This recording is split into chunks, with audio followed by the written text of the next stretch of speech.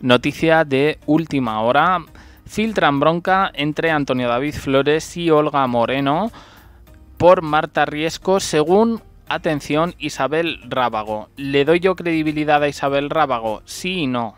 Os cuento, a mí me ha llegado otra información que tenía preparado en un vídeo que sacaré pues a lo, a lo, largo del día o a lo largo de estos días de una conversación que tuvieron Rocío Flores y la periodista de Viva la Vida cuando la hija de Rocío Carrasco acudió a, a, Telecinco este miércoles a participar en el programa Ya son las 8 de Sonsoles Ónega. Esto es lo que dice Isabel Rábago. Cuentan las fuentes, esas que no podemos desvelar, que Olga Moreno se revolvió con el posado robado de Antonio David Flores y Marta Riesco en la Sierra madrileña.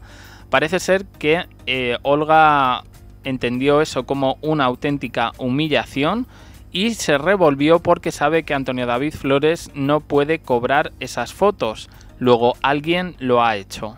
Él sigue siendo insolvente de cara a la justicia ya que eh, en breve se va a celebrar un juicio eh, bueno, pues bastante importante para Antonio David en el que él podría salir como perjudicado.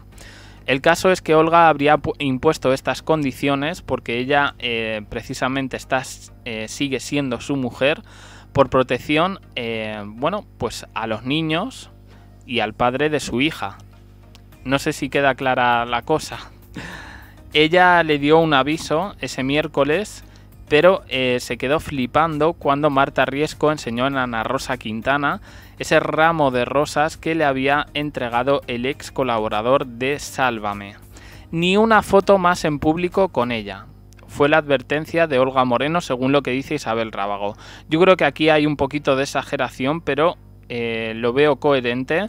Como digo, hubo una conversación con Rocío Flores eh, que tuvo Isabel Rábago este pasado miércoles y parece ser que, eh, pues, Rocío Flores, no sé si por inconsciencia o por qué, le habría alargado lo más grande a la periodista que el otro día tuvo además una actitud con ella eh, muy, muy de peloteo, ¿no? Siendo además ella amiga de Rocío Carrasco y Fidel Albiac. Así las cosas, en Málaga están los dos, pero eh, existe una cierta tensión. Eh, por eso se podría explicar que Antonio David Flores ahora mismo no puede hablar absolutamente de nada. Em, pero yo creo que aquí el buen proceder sería hablar lo que tenga que hablar con Marta Riesco. Si tiene que romper definitivamente, creo que ahora es el momento. Luego, no le conviene nada, nada llevarse mal con Olga Moreno. No porque Olga Moreno le vaya a amenazar o le vaya a decir que yo esto tampoco me lo creo, pero sí eh, por respeto. Por respeto, para que no tenga que sufrir ninguna humillación pública, para que no tenga que eh, aguantar los reproches de sus hermanas, que están de uñas con el propio Antonio David Flores, y sobre todo mm, también porque Olga está cumpliendo un papel ejemplar eh, con David Flores niño y con su hija pequeña, y eso también tendría que valorarlo. Esta es la información que da Isabel Rábago, que como digo, yo creo que tiene cierta credibilidad eh, si atendemos a que ha habido una reunión entre Rocío Flores y la periodista colaboradora de Viva la Vida y ya son las 8. En fin, esta es la información, de momento no sabemos nada más.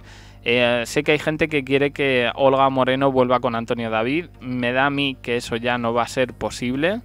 Eh, bueno, más bien que Antonio David vuelva con Olga, pero yo creo que Olga ha dicho hasta aquí. Y queda pendiente ese juicio de Antonio David por insolvencia punible.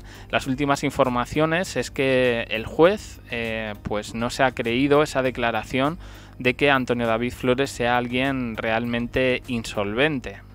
Vale, cuando estamos hablando de que se ha buscado un nuevo trabajo aquí en YouTube, eh, cuando era colaborador de Sálvame y todo tiene que ver además con las pensiones de los hijos, del juicio de Rocío Carrasco, en fin, un auténtico lío.